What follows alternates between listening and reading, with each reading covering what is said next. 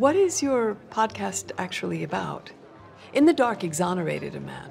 Wh- what is your contribution? Is there one? Oh, um, look. Tiny little meatballs on sticks. Thanks. Yep. You, Professor, are trash. Yeah, so's that lady and that dude. Even these little meatballs on sticks. All pure hot and cold garbage. Actually, everything's trash. And it's only through acknowledging it and diving into the muck that we even stand a chance of surviving the dumpster fire that is our world. Or something like that. I don't know. I just host a podcast. okay, Elaine. on that note, shall we have a lash? It was lovely meeting you. Bye, Elaine!